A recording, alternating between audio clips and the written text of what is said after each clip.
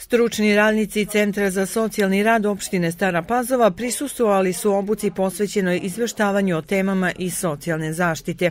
Obuka ima za cilj unapređenje kvaliteta informisanja javnosti o delatnosti Centra za socijalni rad i pravima, merama i uslugama socijalne zaštite za različite korisničke grupe, kaže Mirjana Sokolović, stručni saradnik Centra za socijalni rad. Zaposleni u Centru za socijalni rad, stručni radnici centra koji su često u prilici da javno nastupaju na radiju, na televiziji ili da pišu ovaj, neka saopštenja, da malo unapredimo svoja znanja u toj oblasti. E, svi mi danas ovde prisutni učestvujemo u obuci koja i nosi takav radni naziv, e, mediji, socijalna zaštita pardon, i mediji,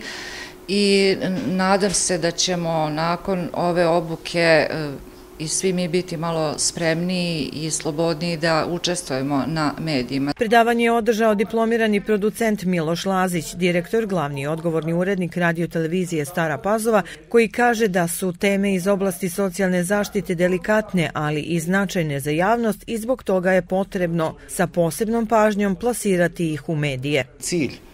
ove edukacije da stručni radnici Centra za socijalni rad ovladaju veštinama u što bolje komunikaciji sa javnošću i sa medijima, što oni to bolje budu radili, to će nama